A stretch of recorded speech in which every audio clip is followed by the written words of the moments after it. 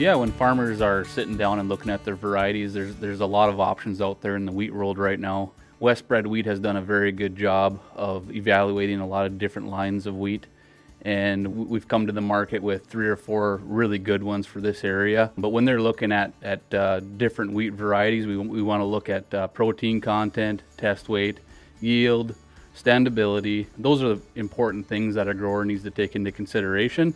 Grower needs to take into consideration their, their different attributes on their farm that they're looking to achieve, their different soil types on their farm, different pHs. But overall, Westbred has a has a very good selection of varieties for them.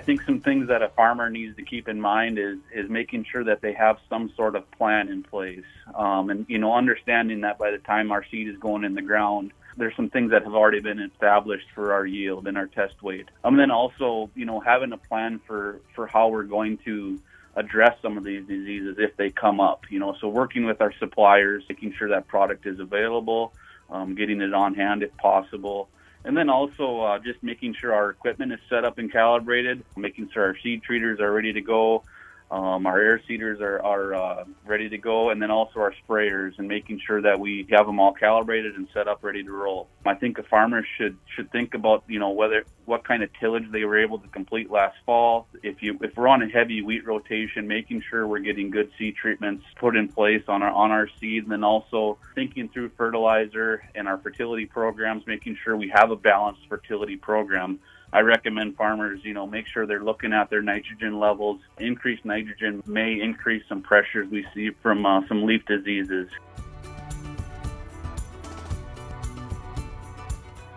I encourage growers to make sure they're getting out and doing some of that scouting, making sure they're trying to get out there early and often just to catch things early, um, as early as possible. And if we can correctly identify those diseases, we can make a plan for how we're gonna we're address them. And and I also encourage growers to, to work with their agronomists.